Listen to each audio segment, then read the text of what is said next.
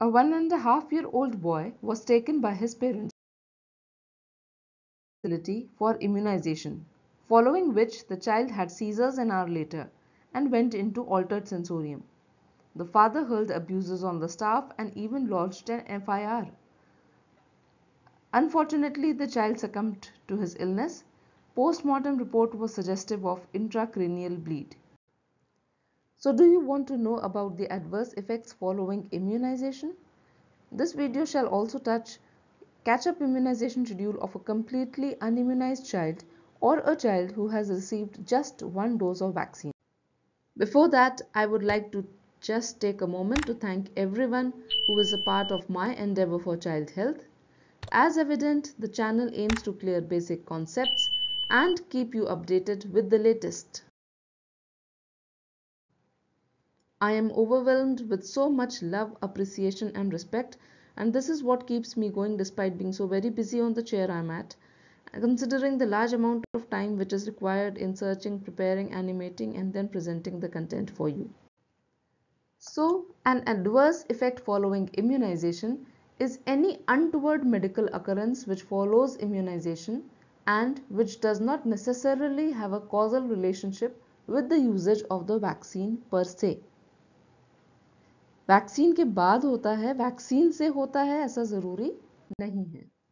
So it can be related to either vaccine product that is caused or precipitated by a vaccine due to one or more of its ingredients or its properties and generally these kind of A F I are not serious vaccine quality related including the quality of administration device immunisation error related for example infection transmitted by contaminated multidose vials, immunization anxiety related, for example, a vasovagal syncope in an anxious adolescent, or it could just be a coincidental event, for example, post-vaccination fever due to malaria. So was the scenario which I had discussed earlier. On investigation in our hospital, the child had markedly elevated PT APTT INR, which could have led to possible intracranial bleed and that the child was sick three days prior to the illness as well as revealed by the parents later. There are three types of AEFI depending on the severity. They can be serious which may result in death or hospitalization or significant or persistent disability as was the case discussed earlier. Severe which for example after DPT injections we expect a swelling we might expect a swelling at the site of injection but sometimes if the swelling is so severe that it crosses beyond the nearest joint then in that case it is referred to as severe AEFI or it could be just minor for example local or even systemic reactions like fever etc. So as per the reporting algorithm whenever there is an AEFI then in that case the patient the doctor should report straight away as in uh, urban areas or via a medical officer at the primary health center via a case reporting format within 24 hours to the district immunization officer. This is where the duty of the primary doctor generally ends. The district immunization officer in turn verifies the case properly and within the next 24 hours he will send the case to the state immunization officer or the expanded program of immunization officer along with informing the immunization division of Ministry of Health and Family Welfare. Then this in turn within 10 days shall inform the state level and the national level AEFI committees. Then the district AEFI committee within 100 days of notification of this AEFI will send the final report in the form of final case investigation form to the state AEFI committee giving its opinion on the probable diagnosis.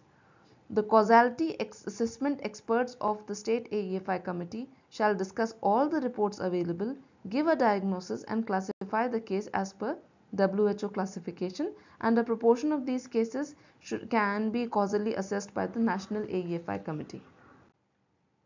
Coming on to the common and serious adverse effects following immunization. First is vaccine associated paralytic polio caused by the OPV virus.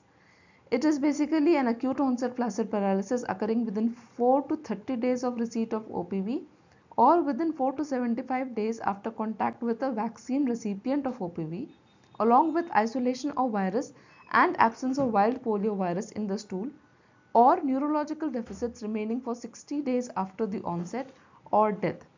There is no specific treatment of this adverse event following immunization. Another commoner one is anaphylactoid reaction and this can be seen with any of the vaccines.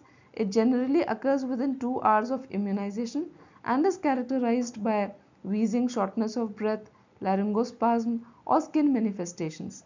It is generally self-limiting and the maximum you would require is antihistamines. Then anaphylaxis which again can be caused by any of the vaccines and this is generally a serious form of uh, AEFI in the sense that in anaphylactoid we had respiratory manifestations whereas in anaphylaxis these respiratory manifestations can in turn lead to circulatory collapse or shock. So this is potentially dangerous and fatal. The treatment of choice is epinephrine and here I would like to give a small uh, explanation of how to use the epinephrine. The vial which is available to us is generally 1 is to 1000 ml concentration. So we take 1 ml of this vial and dilute it with 10 ml of normal saline and give 0.01 ml per kg of this diluted solution. 0.01 ml per kg roughly amounts to 0.1 ml in up to 20 kgs birth weight, 20 kgs body weight, uh, 0.2 ml in up to 30 kgs body weight, 0.3 ml in up to 40 kgs body weight, 0.4 ml in up to 50 kgs body weight and 0.5 ml thereafter. 0.5 ml is the maximum dose of epinephrine which you can give and you can repeat the dose again. The third the fourth common AEFI is arthralgia which is generally seen after vaccination with rubella or MMR and the treatment is generally symptomatic. Disseminated BCG infection can also be seen with BCG and the treatment is administering anti-tuberculous drugs including isoniazid and rifampicin. Encephalopathy can be seen with measles and pertussis but is generally not serious and the management is conservative and symptomatic. Then HHE or hypotonic hyporesponsive episodes, these are seen with uh, DPT. These are generally transient and self-limiting. No specific treatment is required per se and this is also not a contraindication to further doses of the vaccine though you can you should be cautious about the same in future doses. Another com other common AEFIs are prolonged seizures and crying, even febrile seizures seen with DTWP that is whole cell pertussis component, thrombocytopenia seen with measles and intussusception sometimes seen with rotavirus.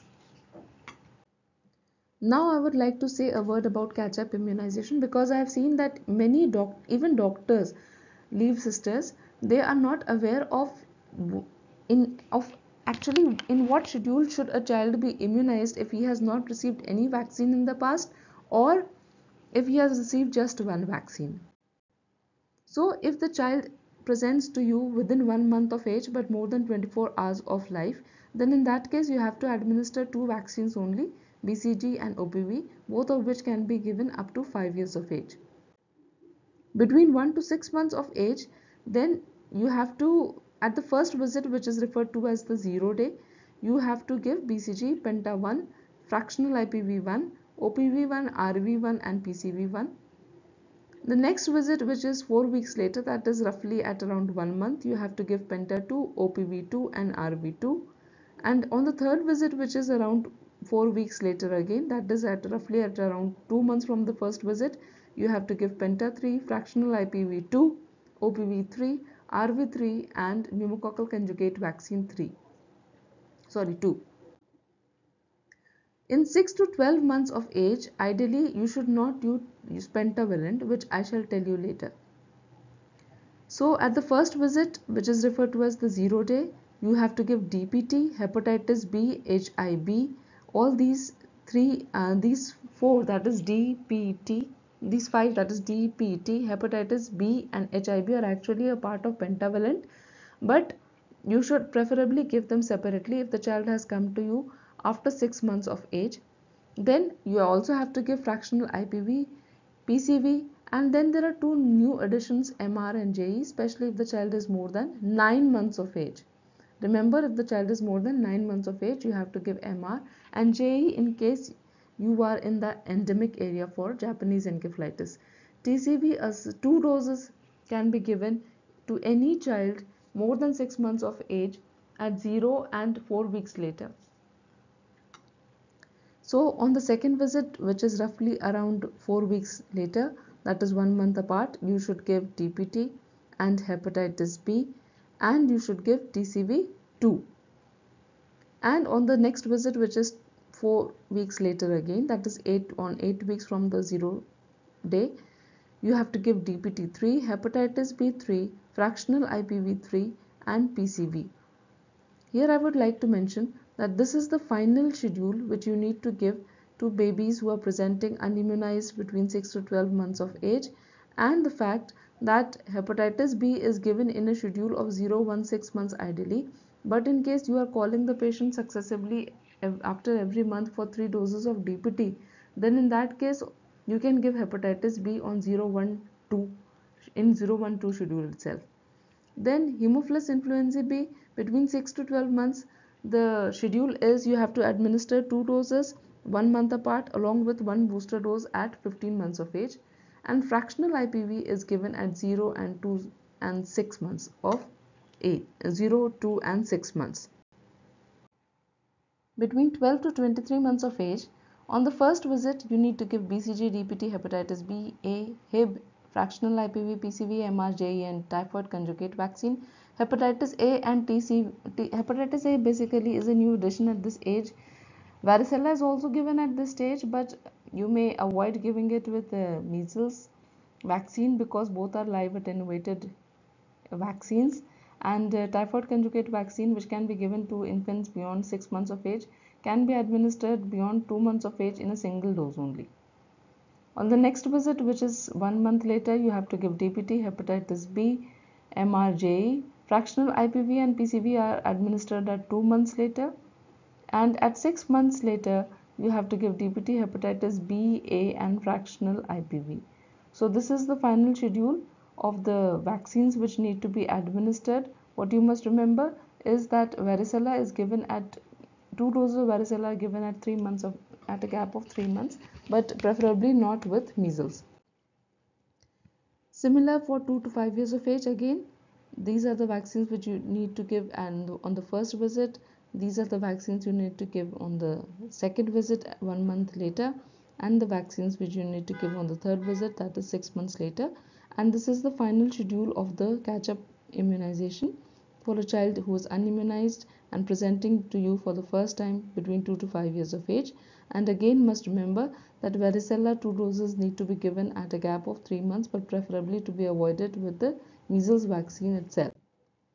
So you can basically give it at the third visit between 2 to 5 years of age and at more than 5 years of age you have to give DPT or Tdap if the child is more than 7 years of age hepatitis B, A, measles, JE, typhoid, HPV and PCV vaccines at the first visit. On the second visit which is at 1 month of age you have to give DPT in less than 5 years in less than 7 years of age and TD in more than 7 years of age, hepatitis B, A, uh, measles and JE in an endemic area.